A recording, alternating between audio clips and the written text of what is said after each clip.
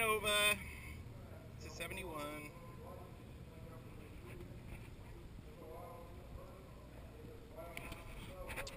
We're hanging out, waiting for round one. We're gonna need to put some more fuel in this thing. And uh, we'll be ready to go tear it up. We gotta watch everything. We gotta watch the air, humidity, all of that. And one of the things that we want to keep an eye on too is the wind. We got a little bit of a breeze today. We always look at those flags up there to give us an idea if we've got a headwind or a tailwind. That can actually affect your uh, outcome later in the race. If you top in, if you have a headwind, it can slow you down. Justin brought his Chevelle out today, 67. Has a brand new engine in there. Nice pearl white. Justin's a regular on the Northwest Car Show scene. He's a proud Bracketstars member and also a Strata Cruisers member. What's going on, boss? You're on camera, buddy. I'm on camera. What Yeah, we're, we're doing our own reality show. Oh gosh. Our friends at Garage Asylum asked us to bring their GoPro out and do video of in the car and around the track and just a little bit of everything. Saw your truck running today. You liking it? Nine, Alright, 979 79. first pass and 983 second. nice. How's it leaving? Good. Good lights? Yeah, straight up the first pass. What what happened? Huh? What happened? I forgot to take clear the crosstalk box numbers. Uh oh. Yeah, 002 second pass. there you go. That's what we're talking about. Yeah. 002. That is uh, that is right in there, man.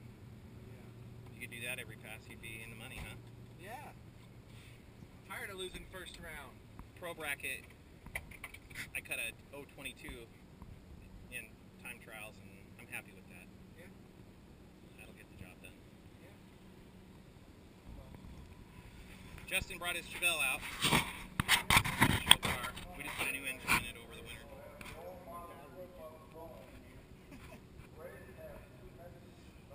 Justin goes to all of our car shows and good supporter of the program. The our import car show is coming up Saturday, August 9th uh, at the Innisfail Fairgrounds. It's the Saturday after nothing here. No, no, we strategically planned it that way so that it wouldn't interfere with any drag races or anything like that. And and there will have been three big import shows before that that we can market it at. The next one's coming up next Sunday out here. Saturday. Is it Saturday? Okay. I'll be out for that for a while. What are you doing, Justin? Oh, this battery just won't down. It doesn't work very well and it keeps blocking in here. It's always something, isn't it? All right. This is time trial number one on Sunday. Making the first pass with the Nova. Should be looking at about a 1225 at 108 miles an hour. Sun's out. Pretty warm. We're dialed in for a good day. It's Sunday, June 22nd, day after the summer solstice. We had a great day of racing out here Saturday.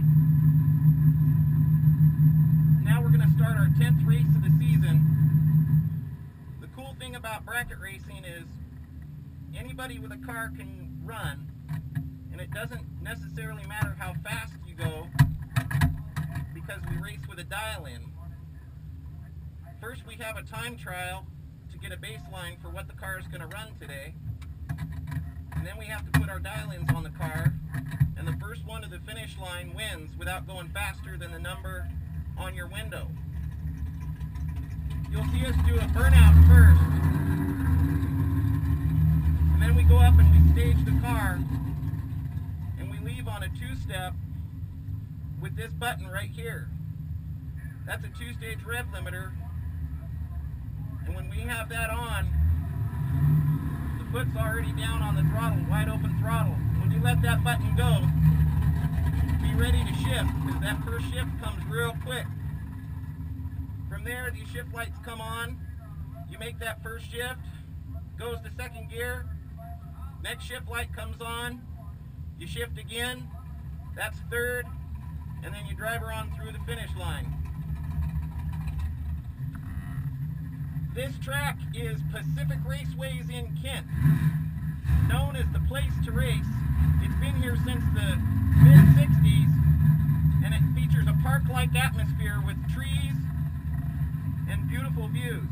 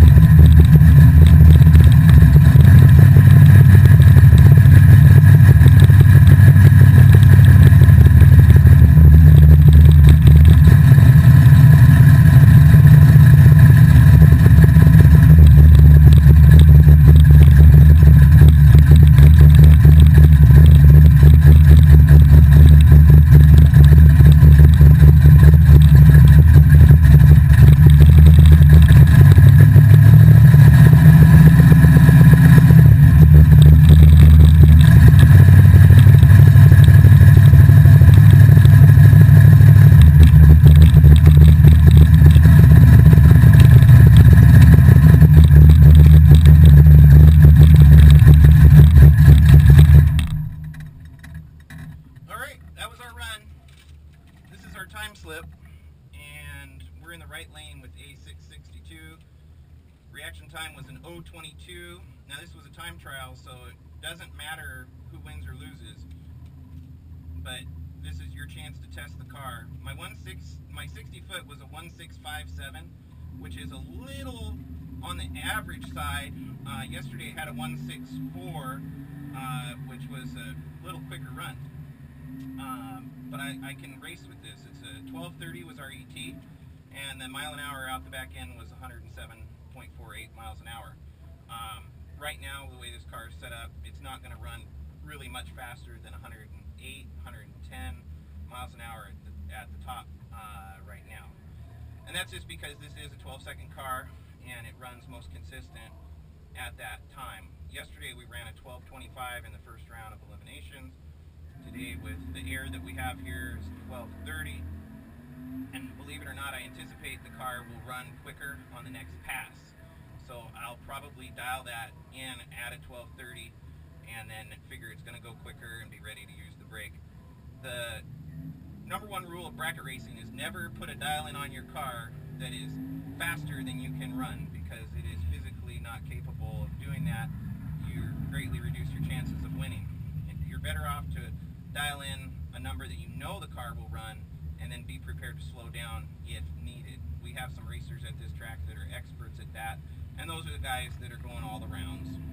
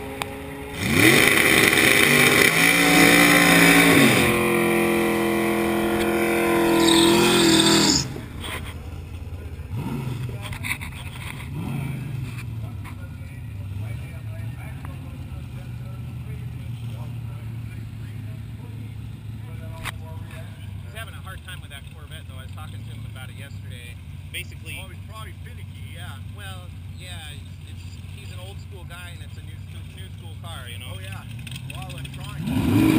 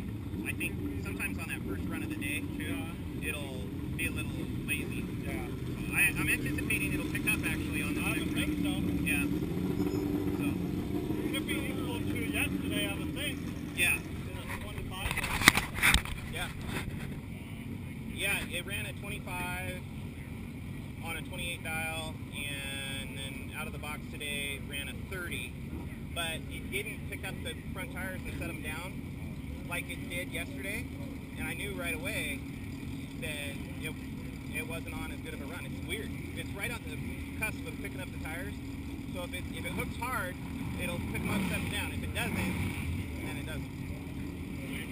Good luck!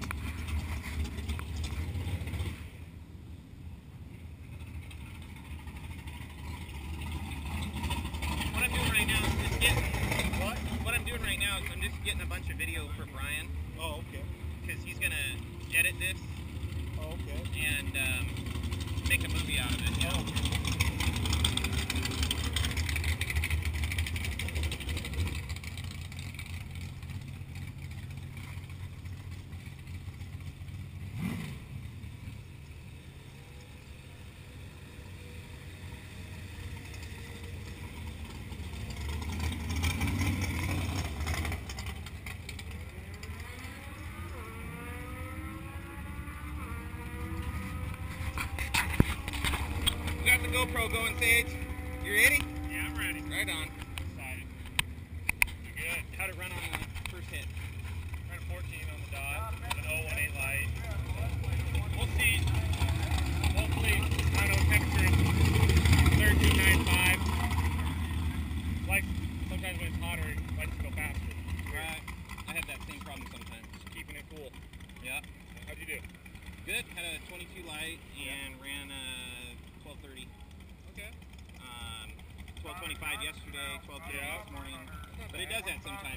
it'll be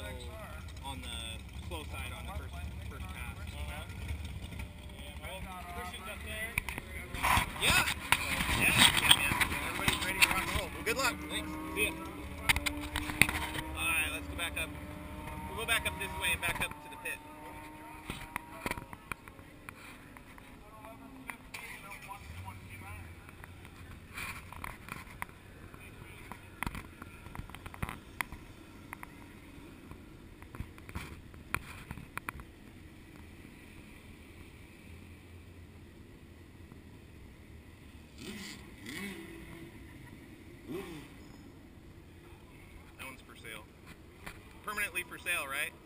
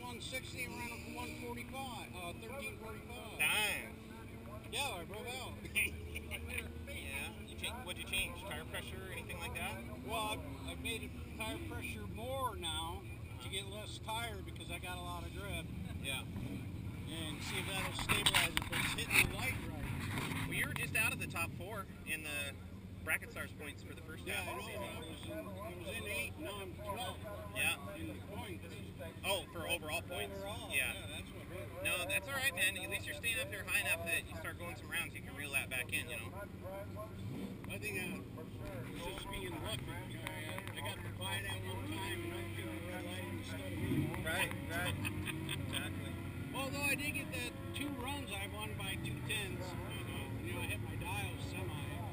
It's I just can't get my dial right in the last four races. when it's your day, it's your day, you know. Well, I'm hoping it's today. I've suffered enough. Can't give up.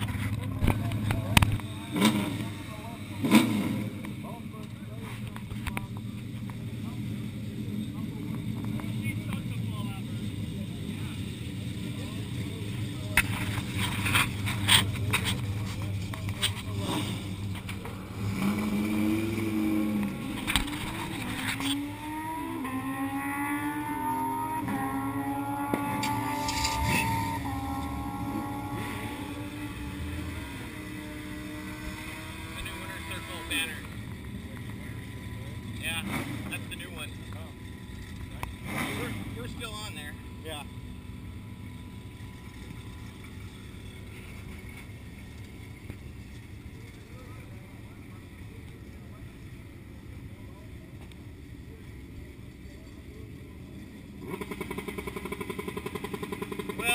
Go back up to the pit.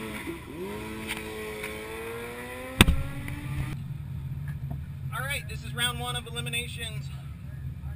We got a little bit of a headwind up there, so that could slow the car down a little bit, but it seems to be coming and going. So we'll anticipate the car running faster than the dial. I got a 12, uh, 28 on the window. Competition stiff in this class doesn't really matter who you got. We got a lot of good racers, so got to be quick on the line and uh, run her out the back door. Be ready to hit those brakes.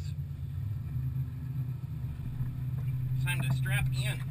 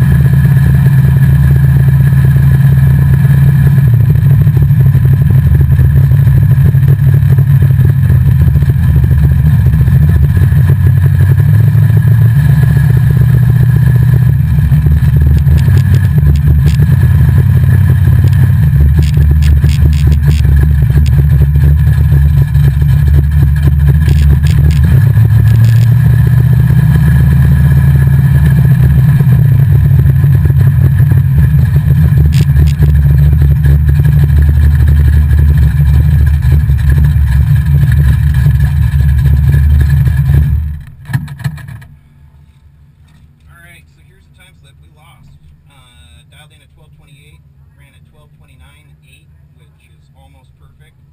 Had a 065 reaction time, which uh, I knew it felt a little bit late, but it was better than the opponent's reaction time. He had an 071. His dial in was a 1088, and he ran a 1088.3 on his 1088 dial. So he ran his number, and the difference in our reaction time was almost almost identical reaction times. It wasn't enough. Mine wasn't enough better to make up the difference. So you can see how painful that uh, drag racing can be when you run a 1229 on your 1228 dial. You have an okay reaction time, and you still lose. I was definitely on the brakes across the finish line, bringing them in. We call that tightening it up. And um, I took the stripe by about a wheel, uh, I would have had to have tightened it up even more, but it was a risk of him getting around. So we go home.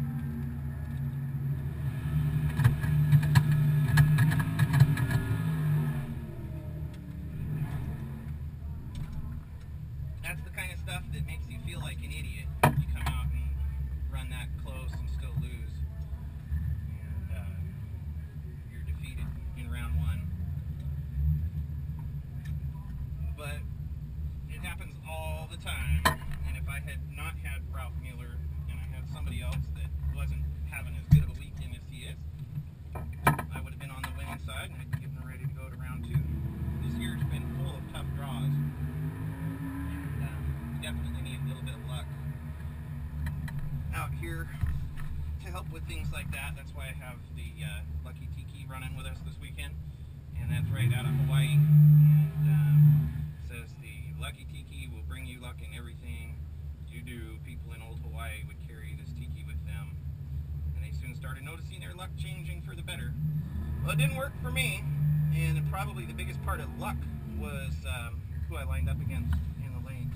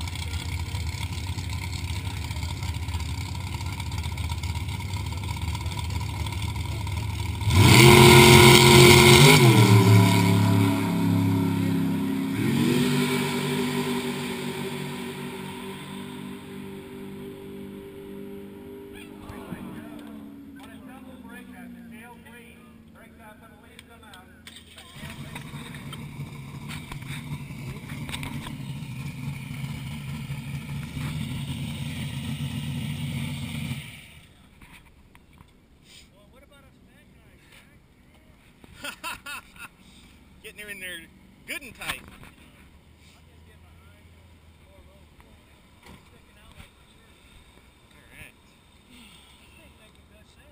Yeah, it would. Piece of hardware for you, sir. Come on into the winner's circle, you guys.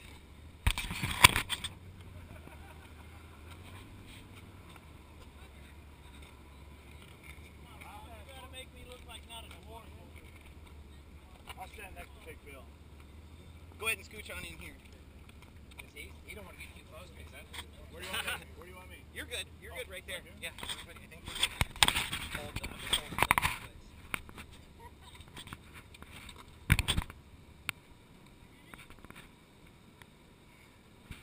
Everybody smile.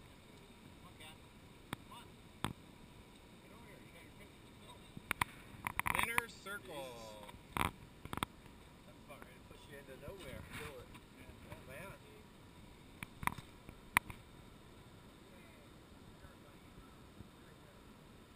All right, hang in there, guys. One more for Bracketstars.